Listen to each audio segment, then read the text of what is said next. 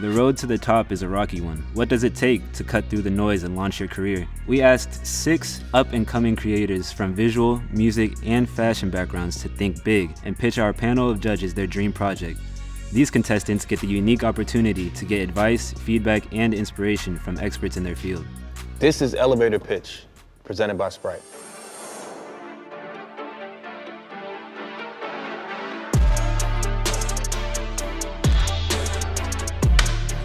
My name is Elan Watson, and I'm a visual artist from Oakland, California. I'm Sage Guillory. I'm a visual artist from Atlanta. I mainly work with mixed media collage, photography, and videography, and then I'm also a skater, so that's what I do on my off time.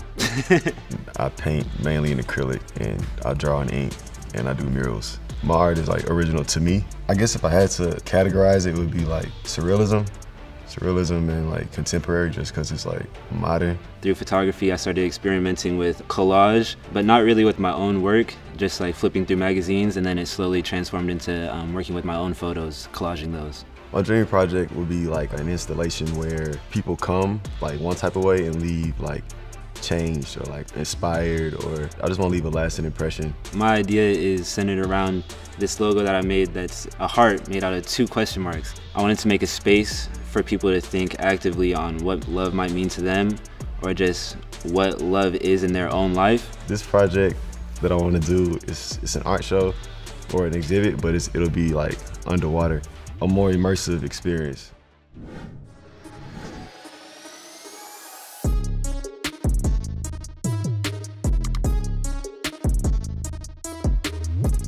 What's up, guys? Hey. What's up? My name is Elan Watson.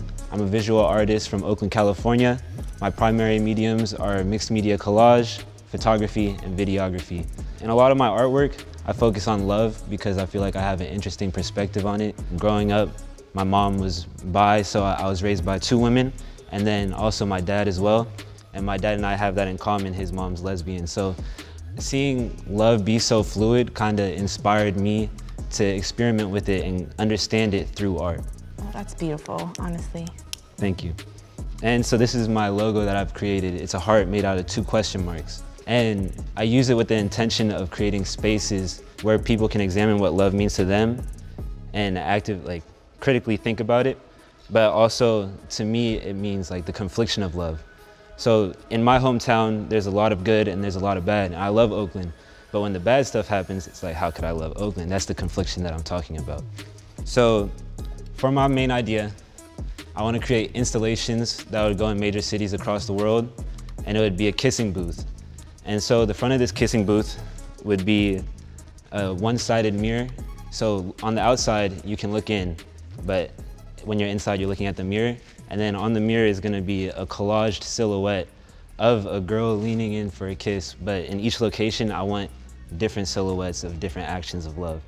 And so the whole idea behind this is when you're in there, you're put in a scenario of love because you're looking at yourself in the mirror next to this collage leaning in for a kiss. So only on the inside you can see the collage and the colors and all the in intentionality behind the, the images that I used for the collage.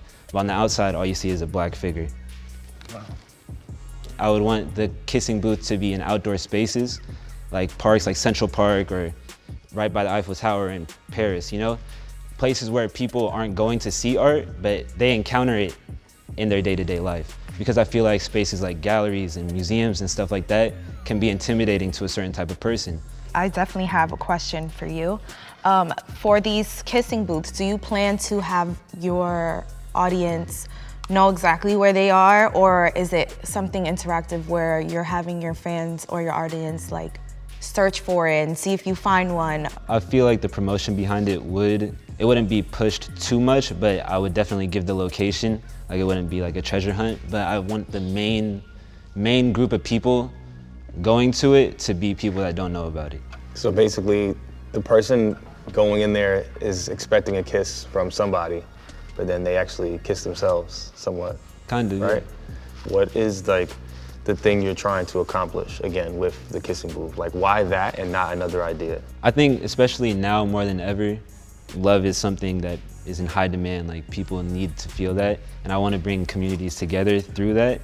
And I plan on bringing them together by having them all think about what love means to them. And, you know, by doing so and reflecting on your own self, so to speak, it might make the community better by changing individuals. For sure. Yeah. Cool. But like, what made you start skating? Uh, my dad's a pro skater. Really? Yeah. So I kind of grew up in it, and then slowly, like all my friends were all skaters, and then I don't know, it's cool. Like my dad's really young at heart, so all my friends are his friends. We go out to skate together and stuff like oh, that's that. dope. Well, I love everything. Thank you. Well, thanks so much for being here and pitching your idea to us. Um, I thought it was great, and looking forward to finding out more about it. Thank you guys. As I well. appreciate coming here.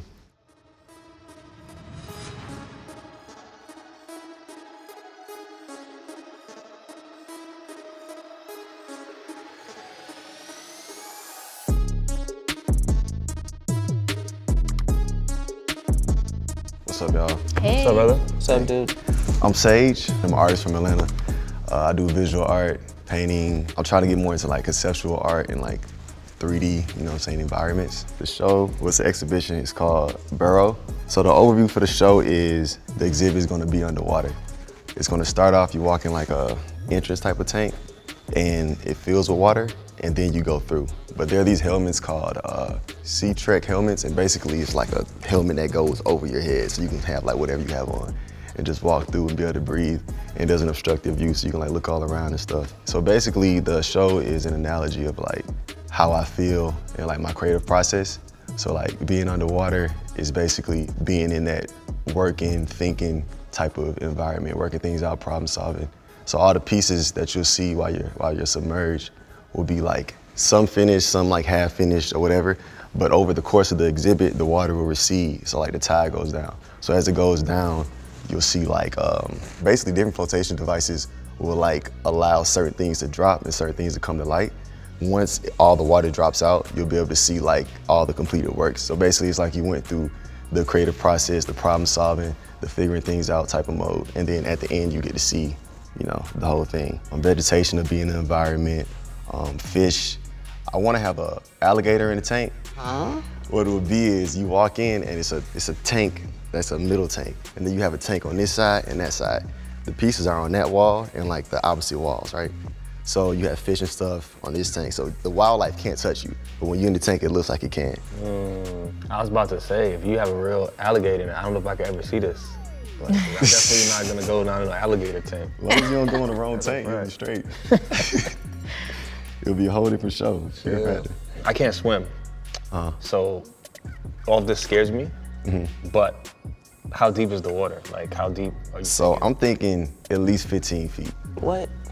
Yeah, at least 15 feet. wow. I don't know how to swim either, bro. I Word. gonna lie to you. It might be a good idea to have, you know, the middle tank be empty and mm. have your professional divers be the ones that unveil the works within the tanks, within the Oh, front cool. tank and the back tank. Yeah. And that, that way you'd have a broader audience as well, of people mm. that would want to come. I, I do like the idea that you said about everything kind of like draining, and then mm-hmm. after it's all gone, you actually can see something else. It almost has like two phases of, um, you know, how the artwork is being presented. Yeah, for sure. think that's really dope. Where did the water obsession come from?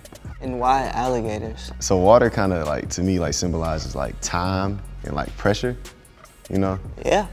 And for alligators, it's just like going in, staying, and coming up when you need to. You know what I mean? That's I have to do that a lot for like for me to, you know, survive as far as like make artwork and produce and produce. Like FOMO, you know, mm. missing out on stuff being underwater, you know. Yeah, I've never heard that concept before. That's really dope. Like, Appreciate you. because that's what you do as a creative, right? You know, Yeah. and people don't really understand that. Yeah, well, thank you. For sure, I appreciate y'all. Thanks, man. Appreciate you. Sure. Thank you, dude. I'm gonna walk this way now. Yeah. I'm gonna take the iPad too.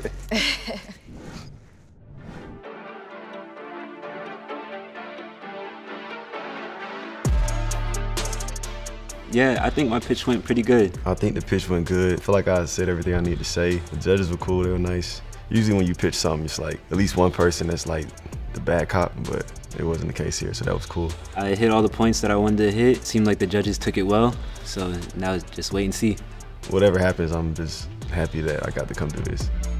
I thought both pitches were extremely well done. It was refreshing to see people actually creating things that you can experience in real life. I actually like them, both of them. They were so unique. Elan's pitch, he used something so traditional as like a kissing booth and tried to like modernize that. Yeah, I like Elan's pitch a lot. I like his whole personality. I definitely think he can work on what he's trying to portray to his audience. It's easy for someone to just see a kissing booth somewhere, you know, in Central Park or somewhere and get confused by what that is or what the concept is and why it's there. Uh, why it was cool is mainly because it was a reflection of yourself. It wasn't really about um, engaging with someone else, it's more about how do you feel. And I thought that was like really engaging and it's something I would want to go to. Sage's pitch was actually my fave from today. I really loved all the different elements that were so true to him, like the alligator, the underwater. I love how those played so deeply into his concept and his activation. I like Sage's pitch a lot. It kind of expanded my mind. I never really saw anyone do like an underwater exhibit. Sage's pitch was really cool. Um, I thought that anything involving water always has so many layers. Sounds expensive, so hopefully he can find a way to bring you know funds into project itself and hopefully get all the things that he needs to, to make the idea come to life. What Sage could work on is making it more user-friendly because I personally don't know how to swim and I'm pretty sure there are a lot of other people out there that don't know how to swim. When you tell someone they're gonna go underwater with an alligator, it's kind of going to scare a lot of people away. So the big question of the day, of the two, who do you think should be profiled by pigeons and planes? This is a tough decision. I thought they were both great. I definitely feel that Sage's pitch really stood out. And I feel like anybody that interacted in that act activation or was a part of that would walk away and never forget that experience. I feel like Elan should be profiled. Um, I like his idea. I like the kissing booth idea. I don't know. Just makes for a better story. I think if I had to choose, I don't want to, but if I had to, I'd pick Sages. Mainly just because like I've never seen anything like that before. Um, what he what he was interpreting seemed quite unique and original, and that's something that immediately caught my attention.